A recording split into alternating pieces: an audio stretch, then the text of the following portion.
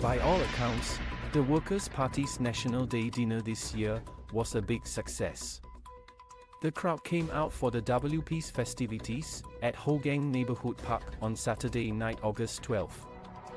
Most of the WP MPs can be seen in the videos and photos of the event. Secretary General and leader of the opposition Pritam Singh, Party Chair Sylvia Lim, their fellow Aljunied GRC MP Gerald Giam, Association Professor Jamus Lim and Louis Chua from Sengkang GRC, as well as Hougang SMC MP Dennis Tan. Missing that night appear to be Sengkang MP He Ting Ru and WP Vice Chair Faisal Abdul Manap, who was confined last month in a hospital intensive care unit due to a cardiac condition, but is now in recovery. A video from the WP's TikTok account, at the Hammer Talk, showed the MPs set to keep on singing home, showed the MPs coming into the venue, waving little Singapore flags and shaking hands with attendees.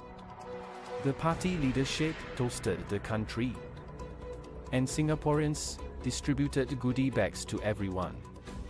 Mr. Chua and Association Professor Lim also sang a duet, with the latter playing the guitar, and the other MPs later took the stage with the volunteers.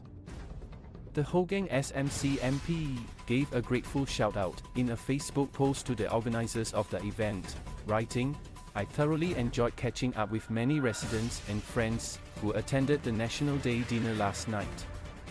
Organized by the Workers' Party Grassroots Committee WPGC at our Hougang Avenue 5 neighborhood park at Hougang SMC. Thank you to all volunteers from our various constituencies who made the event possible.